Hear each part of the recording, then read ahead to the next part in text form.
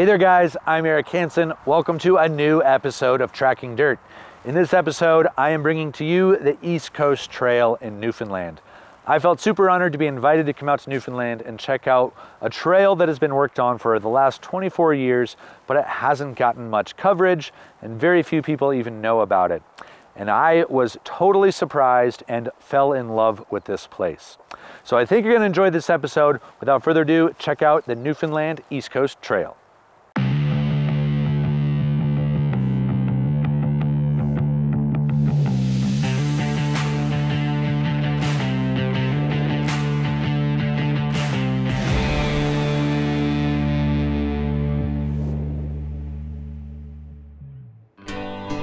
Stretching north and south from the provincial capital of St. John's, Newfoundland and Labrador's East Coast Trail runs 190 miles along the Avalon Peninsula and some of the most dramatic coastline in the world.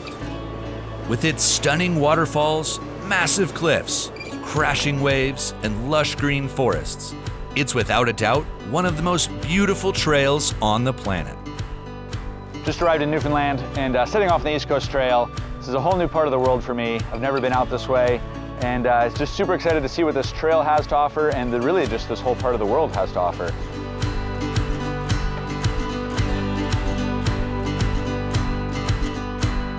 The East Coast Trail was formed in uh, May 1994. And by that time it had, uh, had opened about 190 kilometers of trail. Initially, the East Coast Trail was viewed as an impossible dream by many. We had strong vision, even stronger commitment and dedication, and through the help of uh, many very dedicated and skilled volunteers and good partnerships, we are here today. We've delivered over 300 kilometers of trail.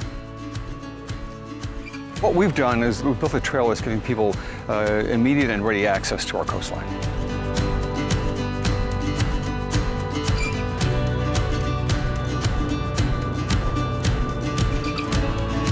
The trail has been a work in progress over the last few decades, making it one of the newer trail systems around. And what I can tell you is that my first taste of the footpath is already blowing my mind.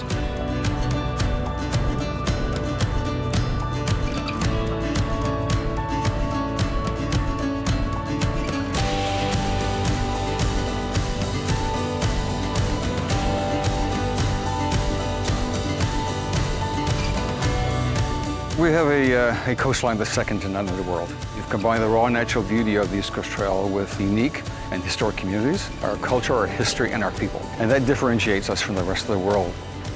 Finishing up a great first day of hiking, I head down to the small town of Ferryland to meet up with Kelsey, a local musician. You played one song earlier with the, the tribute. The tribute, yeah. Would you be willing to play that again? Yeah, of Oh, course.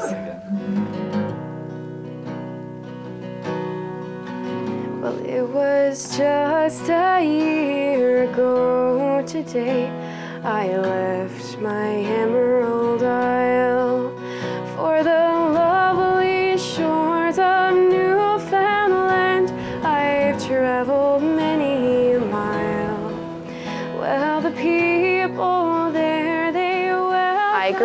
with music around me from the day I was born. And my grandfather was a really good singer, so growing up, we would go to his house and we would just sit and listen to him sing.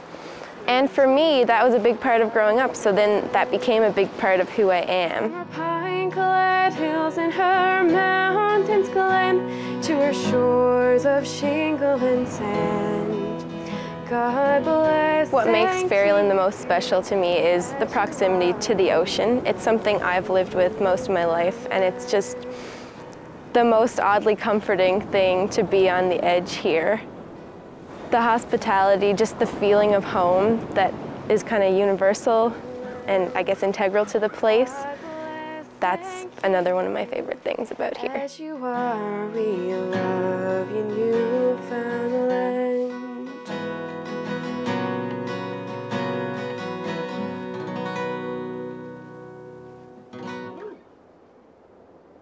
So I'm learning a little bit about the culture of music and how that influences life here in Newfoundland. So I'm at the Sullivan Songhouse and uh, getting to participate in a kitchen party. So there's about uh, 25, 30 people that are all just singing and dancing away. I'm getting uh, initiated into the Newfoundland culture here with uh, song and dance. So uh, having a good old time.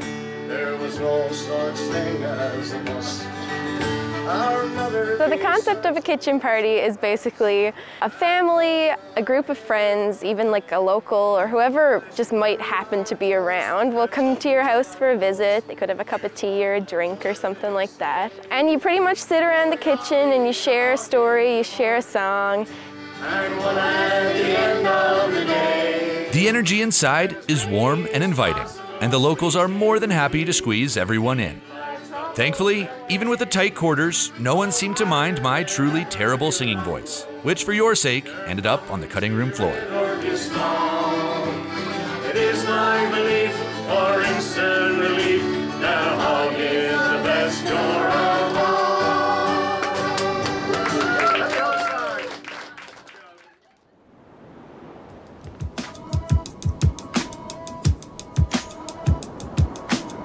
I'm at Cape Spear, the most easterly point in North America.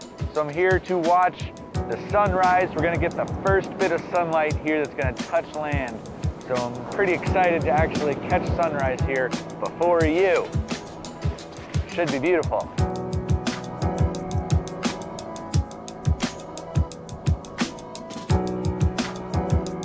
After watching the sunrise, I return to town and meet up with the guys from Ocean Quest.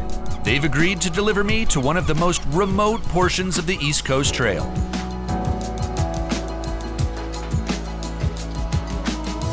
Hiking a trail will always be my favorite way to explore new lands. But seeing this amazing coastline by boat is something I will never forget. It gives me a totally different perspective on the land, and one that's impossible to grasp from atop the cliffs. The waterfalls are everywhere, and not just light trickles of water splashing gently into the calm sea. These are powerful roaring falls that plunge hundreds of feet into the ocean below.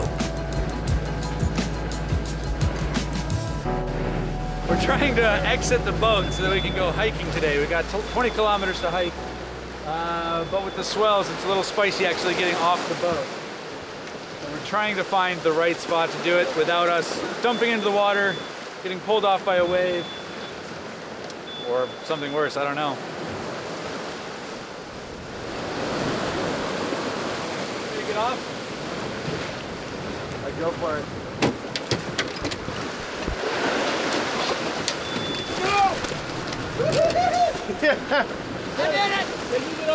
My celebration for successfully disembarking is short lived, as I realize, much to my dismay, that I'm actually on an island. And so I gracefully hop back into the boat, and we'll just try again further along. No big deal. Oh, geez, that boat came up. Yep, we're good.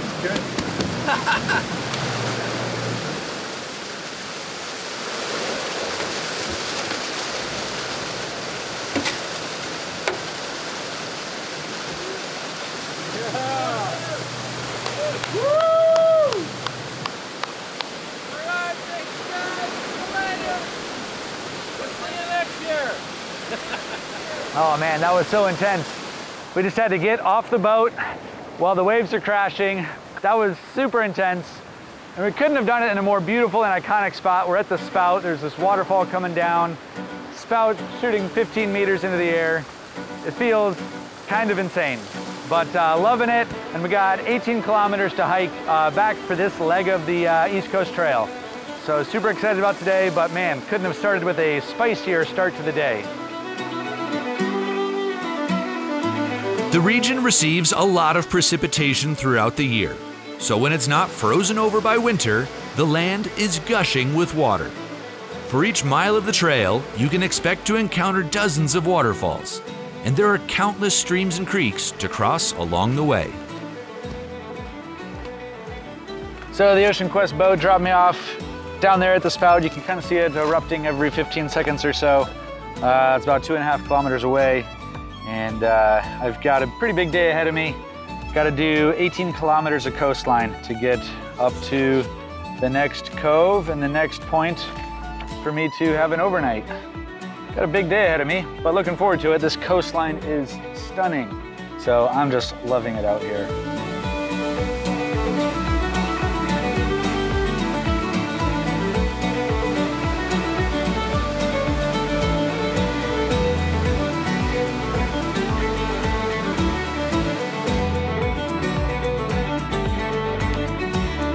You'd think a coastal trail would uh, be pretty flat. Well, this one's got a lot of ruggedness to it. So uh, even though it's coastal, it's still doing a lot of up and down. So uh, we just came to one of the high points and there's a spectacular view here, pretty high up on the cliffs, but uh, it's gorgeous up here. Gotta work hard for it though. This section of the East Coast Trail has been one of the best hikes I can remember. And as I leave the forest behind and move across an expansive headland, I can only marvel at the beauty and the diversity of the terrain that I've seen in such a short time.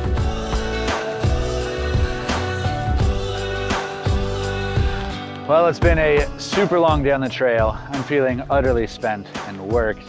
Uh, I can't say anything more about this trail. It's been so beautiful and gorgeous, and today was just utterly spectacular. So despite the fact that I'm tired and ready for a hot meal, I am uh, gonna enjoy this final bit down to town.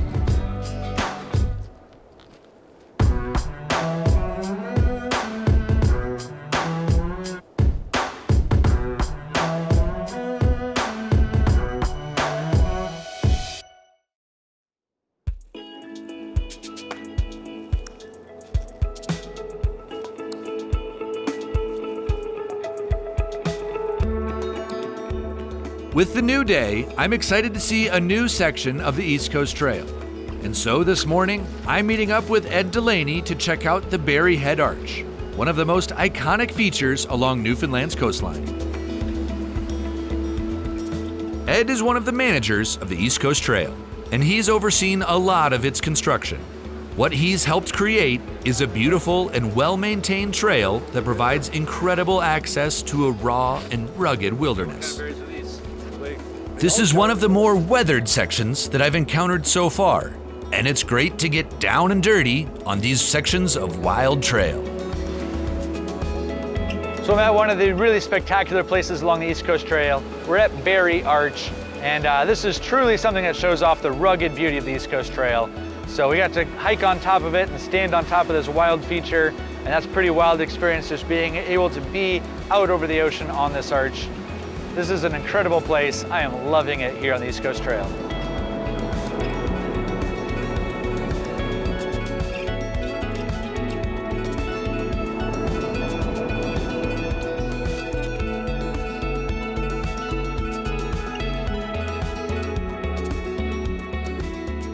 Staying in a storage container tonight, but it looks a lot sweeter than a storage container. Perfect place to stay on the trail. Oh, baby, this is the life. The next day, I head off once again into the woods with Ed Delaney. We're following a trail building crew to see firsthand what goes into building the East Coast Trail. Right now we have 300 kilometers of trail starting here in Portugal Cove and uh, going north to Cape St. Francis down to Cappahayden. That's 300 kilometers that we consider finished trail. One of the areas that we build trail is fairly remote away from the community. So the first couple of kilometers from, uh, from the community, it's not too hard getting materials, but as you get further out, we do have problems. Physical manpower is the way we go. We don't use ATVs or machinery because of the damage that it does to our soils and our terrain.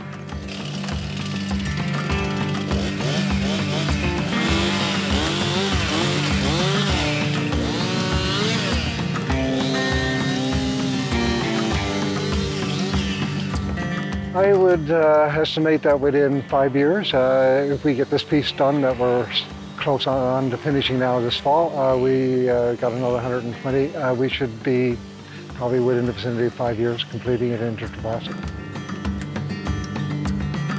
Ideally, when the trail is finished, we're going to be around 420, 440 kilometers from Topsail Beach down to Trepassey.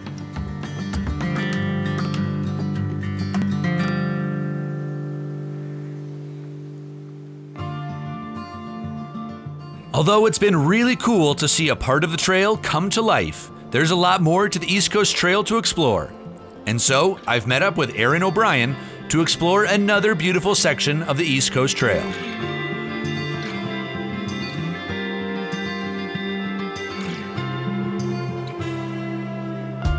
Our mission is to camp on Flamberhead, a headland known for its rocky beauty. We've got a ways to go, so we need to move quickly down the stunning coastline.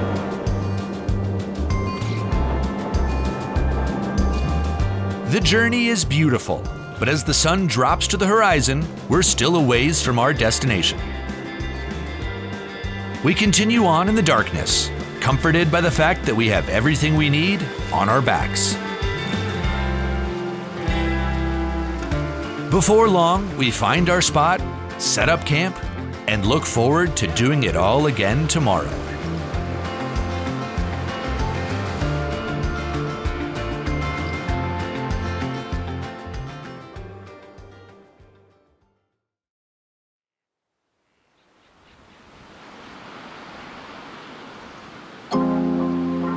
I wake up to the gray and the cold.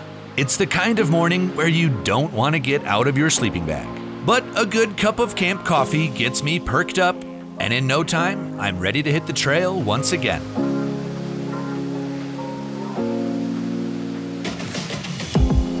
Despite the gray weather, the world around us is still so beautiful. The views are incredible, and I take in as much of it as I can as we hike the last leg of my East Coast Trail adventure. I've put in a lot of miles this week here on the Avalon Peninsula, and I'm sad to be nearing the end. But even though the hike is over, I've still got one more adventure to look forward to. It's my birthday today, and I've decided to celebrate by heading out on the water with the Ocean Quest crew, and we are on the hunt for fresh scallops. All right, here we go. There it is. May all your ups and downs be under the sea, gentlemen. Go get them, boys. The seas off Newfoundland are crystal clear, and divers from all over the world come here to explore the many well preserved shipwrecks that can be found beneath the waves. But today, Johnny and Rick are diving for live scallops on the ocean floor. They have to go down about 80 feet, and the water here is frigid, and so it requires some real technical skill to get their hands on these tasty treats. All right, bring her up. oh, it's like a birthday present. Whoa! yeah, Holy moly! Goodness gracious! Oh, I think you did good, boys. I'll give you a hug, but I don't want to. Oh, okay. Yeah, okay. Voila! Whoa.